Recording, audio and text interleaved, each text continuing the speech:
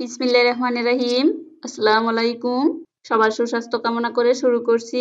আজকে আমরা ওমিটিট ইঞ্জেকশন নিয়ে আলোচনা করব।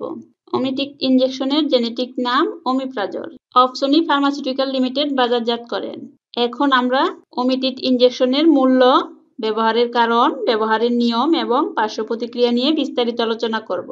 তার আগে আমার চ্যানেলটা সাবস্ক্রাইব করা না থাকলে সাবস্ক্রাইব করবেন। আর যারা সাবস্ক্রাইব করেছেন, তাদেরকে অসংখ্য ধন্যবাদ। সম্পূর্ণ ভিডিওটা দেখবেন। ভিডিওটি ভালো লাগলে লাইক দিবেন, শেয়ার করবেন। তাহলে আমার সাথেই থাকেন। এখন আমরা শুরু করি।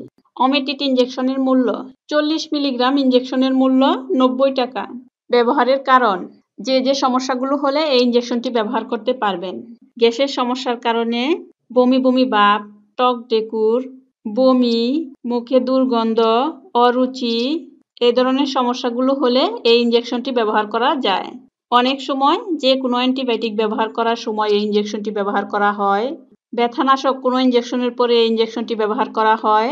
যে কোনো অপারেশনের পরে, ডেলিভারির পরে সিজারিয়ান সেকশনের পরে অ্যাক্সিডেন্ট বা মারামারির পরে কোনো বড় ধরনের অপারেশন বা কোনো বড় রোগ হলে পুড়ে গেলে গাজনিত ইনফেকশন হলে ডায়াবেটিস রোগীদের কোনো ইনফেকশন হলে, তারপরে কোনো অ্যান্টিবায়োটিক বা ব্যথাজনিত কোনো ইঞ্জেকশন দিলে তখন এই ইঞ্জেকশনটি ব্যবহার করা হয়।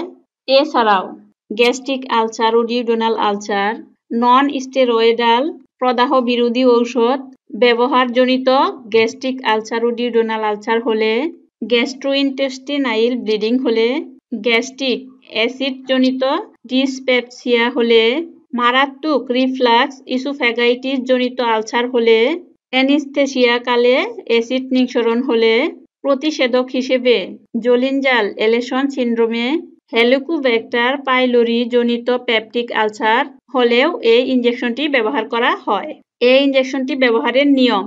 এই ইঞ্জেকশনটি দিনে একবার বা দুইবারও ব্যবহার করা যায়। তবে ডাক্তারের পরামর্শ অনুযায়ী ব্যবহার করবেন।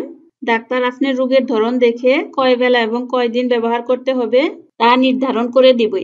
গর্ভাবস্থা এবং স্তন্যদানকালে অবশ্যই ডাক্তারের পরামর্শ নিয়ে ইঞ্জেকশনগুলো ব্যবহার করবেন। পার্শ্ব প্রতিক্রিয়া এই ইঞ্জেকশনটি ব্যবহার করলে যে যে সমস্যাগুলো হতে পারে। বমি বমি বাপ, মাথা ব্যথা, মাথা গুড়া, এ ধরনের সমস্যাগুলো হতে পারে। তবে সব রোগীদের ক্ষেত্রেই হয় না, কিছু কিছু রোগীদের ক্ষেত্রে হয়, তাই চিন্তা করার কোনো কারণ নাই। এই ছিল আপনাদের সাথে আজকে আমার আলোচনা।